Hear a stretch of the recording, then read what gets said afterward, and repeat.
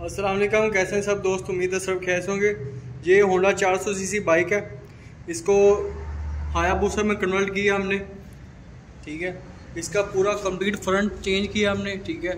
Inverter suspension लगाई इस पर और फ्रंट पे 120 एम का टायर है। ठीक है? और उसके बाद इसमें जो वाइज़र है वाइज़र क्रोम कलर वाला वाइज़र है, इसमें हेडलाइट जेनमेंट लगाई हुई है, इशारे जेनमेंट लगाए हुए हैं दोनों। ठीक है?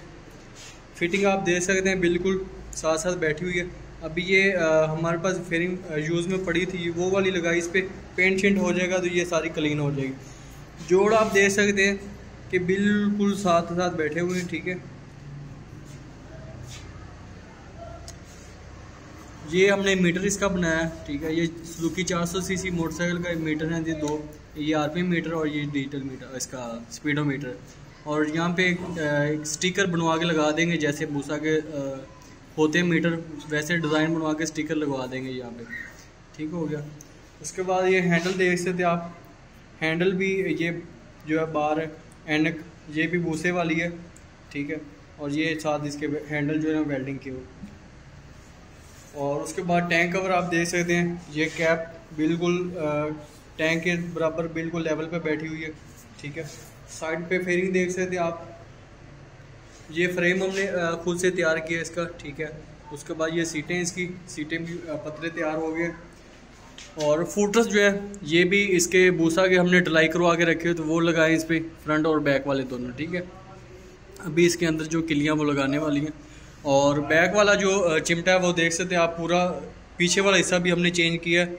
ये आर सिक्स का मेरे ख्याल से, या जिक्सर का ये पूरा चिमटा और रिम वगैरह चेन वगैरह, गरारी वगैरह, पूरी चीज़ें जो इसके चेंज की हमने, ठीक है? और बैक लाइट जो है, उसकी फिटिंग पेंट होने के बाद हम करेंगे, क्योंकि उसकी फिटिंग अंदर बनी हुई है लाइट सिर्फ़ नहीं लगाई हमने। इंडिकेटर जो है पीछे वाले लगा दिए हुए हैं, ये भी जेनमेंट लगाए हैं। लेकिन हो सकता है इनका कलर जो है, वो चेंज करें। ब्लैक वाले जो इंडिकेटर होते हैं टिन ब्लैक कलर होता है, वो वाले लगाएँ शायद। ठीक हो गया?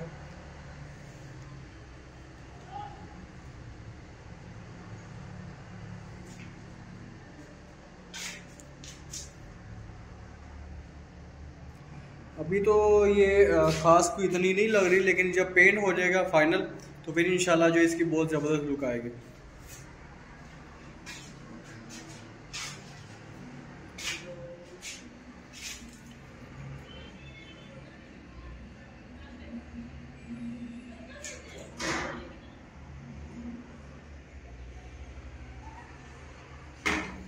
और ये यहाँ पे आप देखें, आपको कुमार की एक चीज़ दिखाएँ।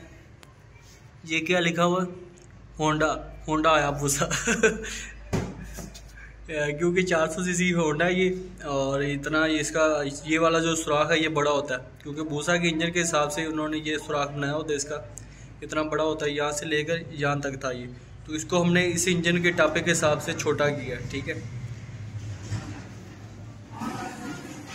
फिटिंग, आप ये देखें कितने अच्छे तरीके से कवर किया इनको।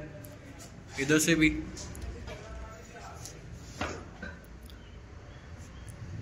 ये देखिए बिल्कुल साथ साथ।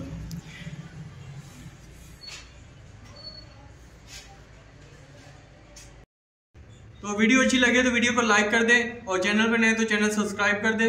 मिलते हैं नेक्स्ट वीडियो में। तब तक के लिए दो में याद रखेगा अल्लाह हाफिज़।